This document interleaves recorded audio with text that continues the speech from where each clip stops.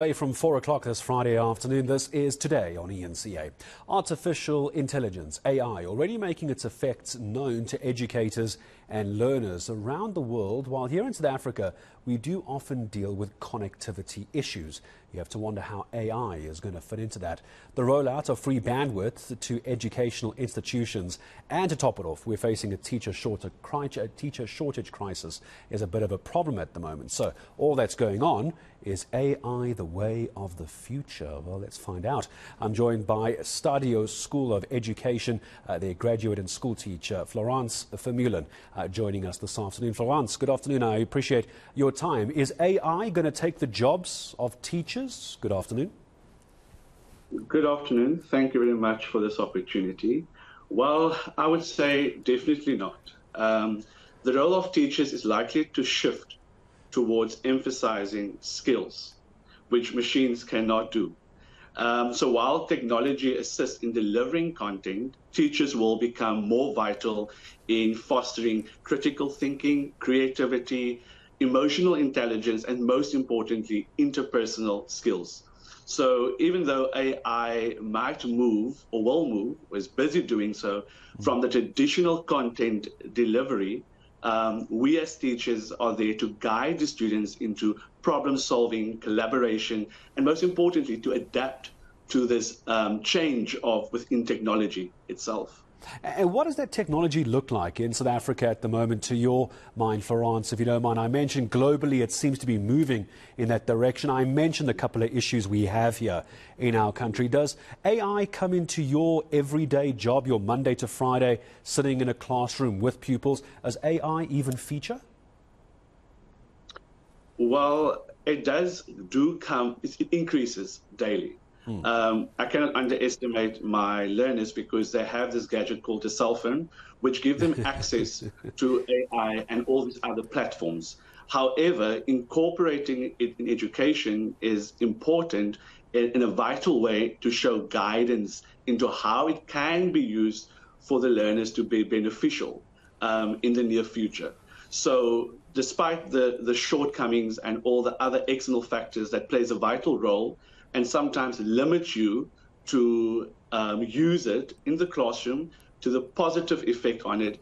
It doesn't prohibit me as an educator to still equip them with those skills mm. that they do require and the outcome of AI within my pedagogical um, approach and the way I teach and what I use yeah. at the end of the day. Yeah, it's such a good point as well. I suppose, and I mean this with all due uh, respect as well, it sounds like you might be the exception to the rule when it comes to educators. Yes, the youngsters sitting in the class, as you say, because of the cell phones, they're well uh, versed on technology, but you might, and I mean this again respectfully, find a, an older uh, educational demographic, older teachers who might push back against something like, like AI. Where do you see them coming in? How do they adapt to something like this? And how does it fit into a schooling system? You could have a teacher like you who can use it, can teach it, can adapt, but a schooling system, a school itself, an individual school uh, system might not be built for it.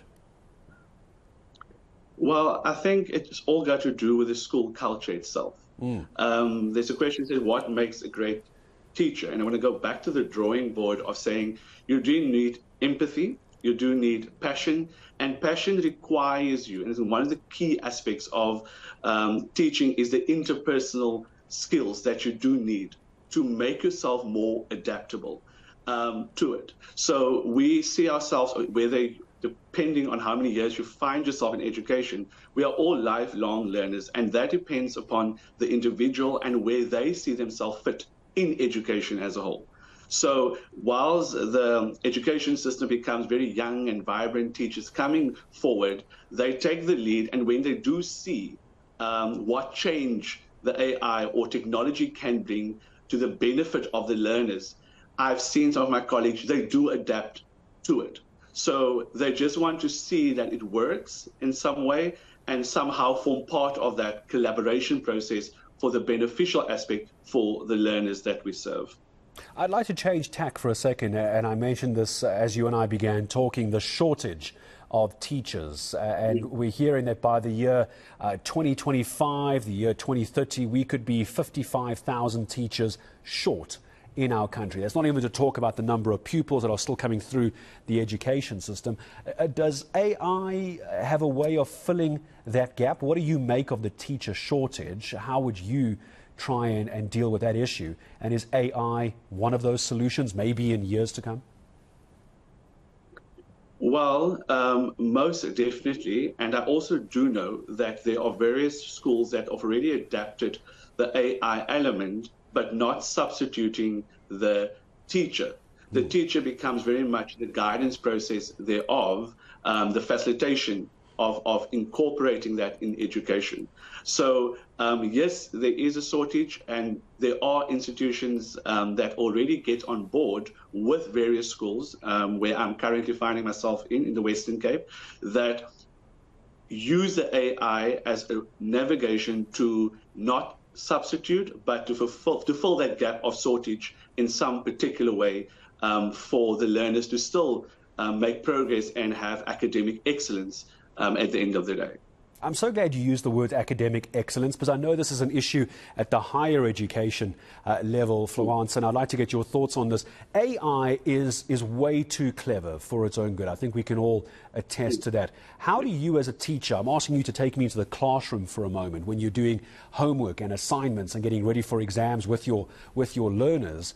AI is a very easy way to cheat, isn't it? How are you handling that because, as I say, AI in the hands of uh, a lazy student is a very powerful weapon.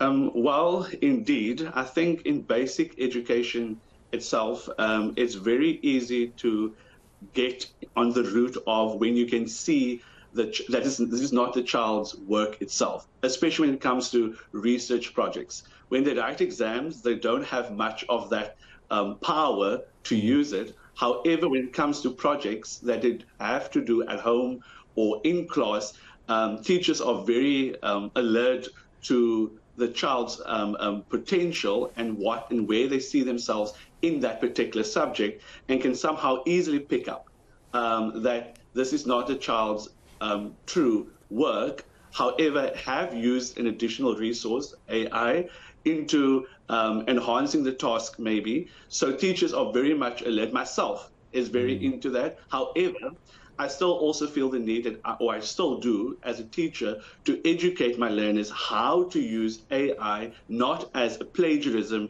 not as a, a, a lazy method of, of, of, of doing um, work or, or doing tasks in itself.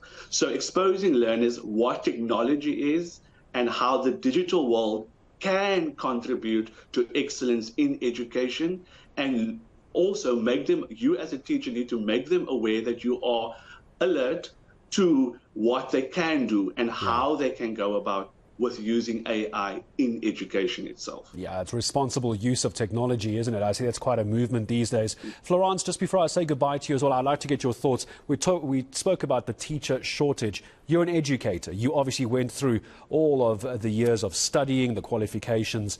How do you try and convince someone watching you and I talk today to study to become a teacher? It's not uh, one of those jobs these days that seems to be uh, very, very appealing. A lack of money, hard working hours, insubordinate children. How do you try and convince someone much younger than you and I to come into what you do for a living?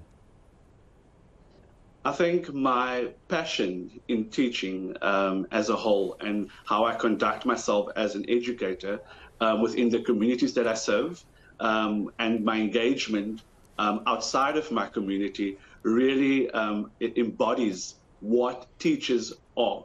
It's more than just the admin. It's more than just transferring knowledge and teaching content.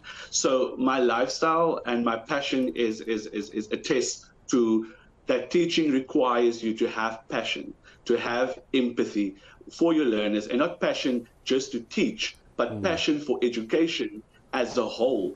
Um, and therefore, you can cross any barriers or fill up any gaps if you have that. If you see yourself teaching as a calling and not just as another job, because, like you've said, it's not an easy um, um, profession to be in. But however, if you have the passion, that gaps or bridges the gap to all other aspects where you find yourself sometimes demotivated.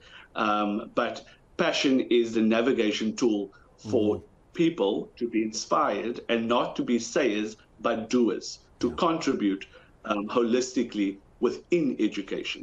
Yeah, and artificial intelligence cannot teach or fake passion. And that's what you have. Florance Vermeulen, thank you very much indeed uh, for your time this afternoon. Wonderful. Hope we talk again. Stadio School of Education, a graduate and school teacher uh, there as well, putting up a good argument against AI. It's relevant. It's not the be all and end all. It's relevant. You need to know about it, but it's not going to replace uh, teachers. It's